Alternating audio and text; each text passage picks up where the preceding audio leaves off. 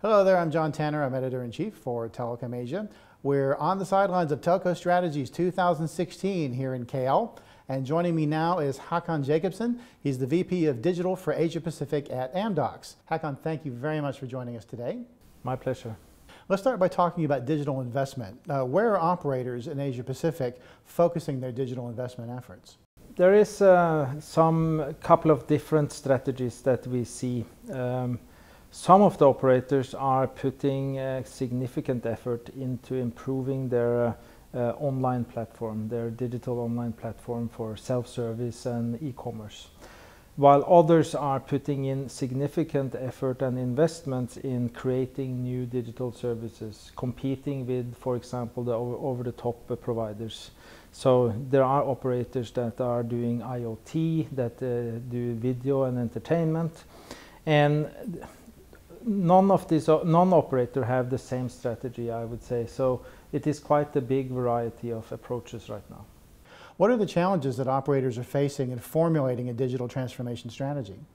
So if, if we look at uh, the online part, uh, I think uh, one of the biggest challenges that uh, we see is um, they have a, a very, um, very, uh, say, uh, unclear strategy or architecture in terms of um, providing the information and integration into the legacy.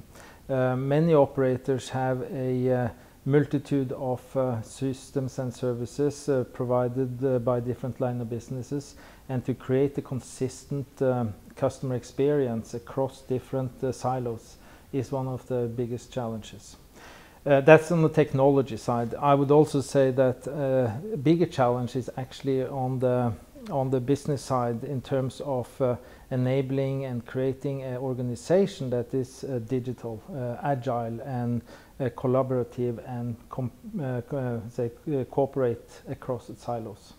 Now, there's a lot of different elements obviously involved in digital transformation. What are the most important ones that operators should focus on? One is around agile test and learn approach. Um, I think the, the digital um, the digital space is evolving and as new um, new companies come in disrupting this this uh, area um, customer behavior customer expectations will change and it is not possible today to know to know today what will uh, what will going to be the solutions for tomorrow. So i believe the successful operators will have to be nimble agile and run by a test and learn approach so that they can quickly uh, create uh, new services and compete uh, quickly with new entrants. So how is amdocs helping operators to prepare for digital services and digital transformation? Amdocs has um, a number of uh, solutions and services that uh, uh, is aiming specifically at helping operator with their customer experience. Uh, or providing customer experience to their end uh, customers, both consumers and enterprises.